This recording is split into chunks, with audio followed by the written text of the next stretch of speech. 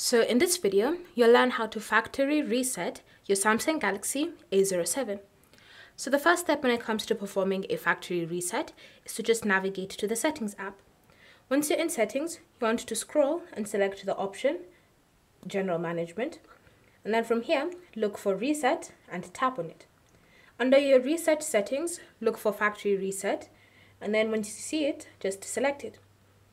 Once you've selected it, it will give you a list of all the information that will be erased from your device. So this includes any added apps, any accounts that you currently have on your phone, they will be permanently removed.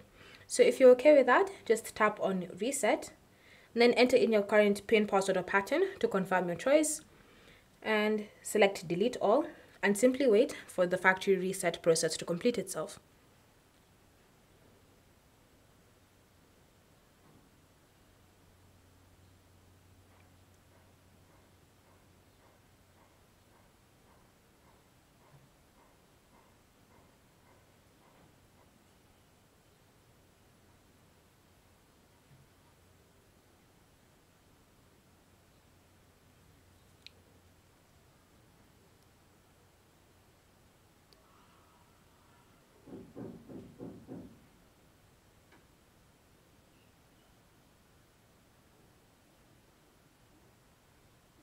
Once it's complete, you'll then be brought to the welcome page that you first saw when you started setting up your Galaxy A07, which means that you've performed your factory reset successfully. Thanks for watching.